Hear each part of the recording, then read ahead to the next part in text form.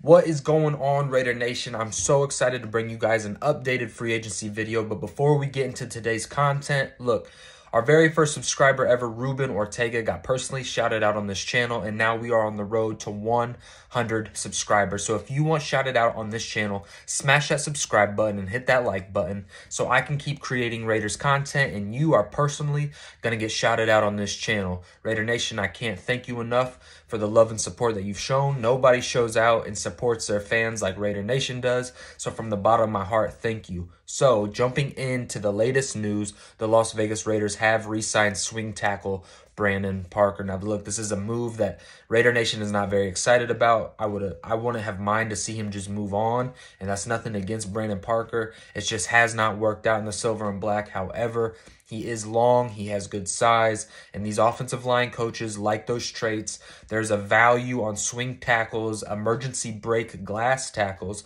that if something goes wrong, they can put Brandon Parker in the game and the game doesn't completely collapse.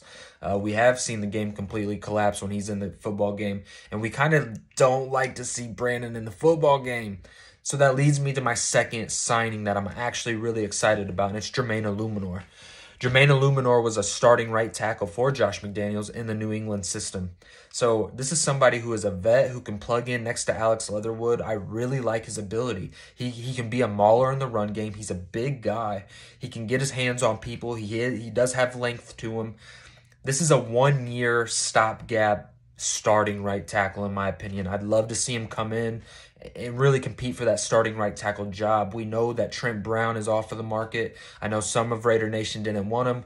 He does like the staff that's in Las Vegas, so that's why I said keep an eye on Trent Brown. Uh, Morgan Moses is off of the market. He uh, signed with the Baltimore Ravens. So right now, you guys, it's kind of at the bottom of the barrel for the right tackle position. Uh, it's really going to have to be a scheme fit. So don't don't think that this is the last signing. These are just some re-signings to create depth on the offensive line. But I'm I'm interested to see what Raider Nation feels. I know which one do you guys like more? Do you like the Jermaine Eluemunor signing like myself, or do you guys like the Brandon Parker signing more?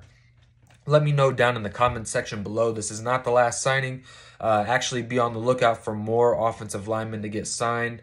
Uh, can't really say some names right now, but stay on the lookout because there are some moves to come. Raider Nation, as always, like the channel, subscribe to the channel, and as always, just win, baby.